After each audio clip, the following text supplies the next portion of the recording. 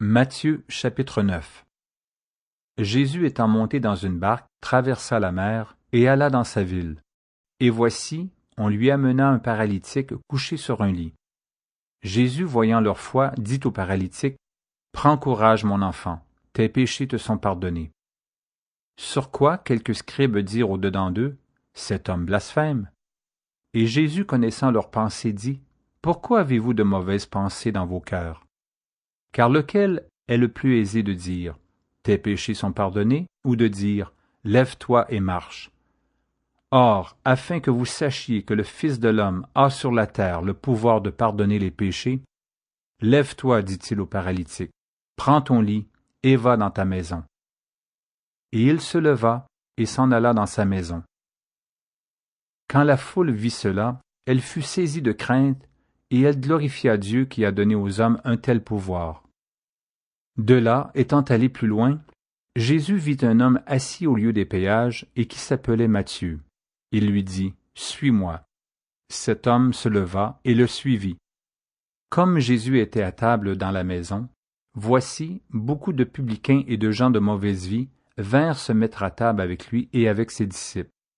Les pharisiens virent cela et ils dirent à ses disciples, Pourquoi votre maître mange-t-il avec les publicains et les gens de mauvaise vie?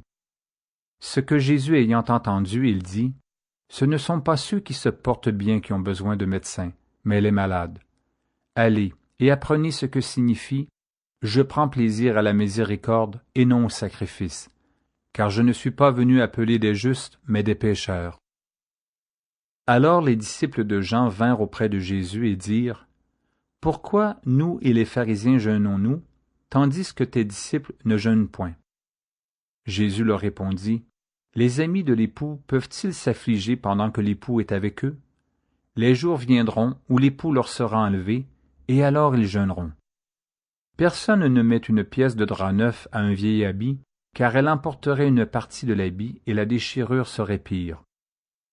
On ne met pas non plus du vin nouveau dans de vieilles outres, autrement les outres se rompent, le vin se répand, et les outres sont perdues, mais on met le vin nouveau dans des outres neuves, et le vin et les autres se conservent. Tandis qu'il leur adressait ces paroles, voici un chef arriva, se prosterna devant lui et dit, Ma fille est morte il y a un instant, mais viens, impose-lui les mains, et elle vivra. Jésus se leva et le suivit avec ses disciples. Et voici une femme atteinte d'une perte de sang depuis douze ans s'approcha par derrière et toucha le bord de son vêtement. Car elle disait en elle-même, si je puis seulement toucher son vêtement, je serai guéri. Jésus se retourna et dit en la voyant, Prends courage, ma fille, ta foi t'a guérie. Et cette femme fut guérie à l'heure même.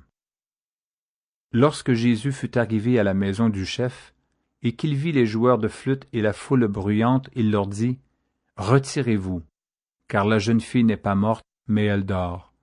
Et il se moquait de lui. Quand la foule eut été renvoyée, il entra, prit la main de la jeune fille, et la jeune fille se leva. Le bruit s'en répandit dans toute la contrée. Étant parti de là, Jésus fut suivi par deux aveugles qui criaient Aie pitié de nous, fils de David. Lorsqu'il fut arrivé à la maison, les aveugles s'approchèrent de lui et Jésus leur dit Croyez-vous que je puisse faire cela? Oui, Seigneur, lui répondirent-ils. Alors il leur toucha leurs yeux en disant Qu'il vous soit fait selon votre foi et leurs yeux s'ouvrirent. Jésus leur fit cette recommandation sévère, Prenez garde que personne ne le sache. Mais dès qu'ils furent sortis, ils répandirent sa renommée dans tout le pays. Comme ils s'en allaient, voici on amena à Jésus un démoniaque muet. Le démon ayant été chassé, le muet parla. Et la foule étonnée disait, Jamais pareille chose ne s'est vue en Israël. Mais les pharisiens dirent, c'est par le prince des démons qu'il chasse les démons. Jésus parcourait toutes les villes et les villages, enseignant dans les synagogues, prêchant la bonne nouvelle du royaume et guérissant toute maladie et toute infirmité. Voyant la foule, il fut ému de compassion pour elle, parce qu'elle était languissante et abattue, comme des brebis qui n'ont point de berger. Alors il dit à ses disciples, La moisson est grande, mais il y a peu d'ouvriers. Priez donc le maître de la moisson d'envoyer des ouvriers dans sa moisson.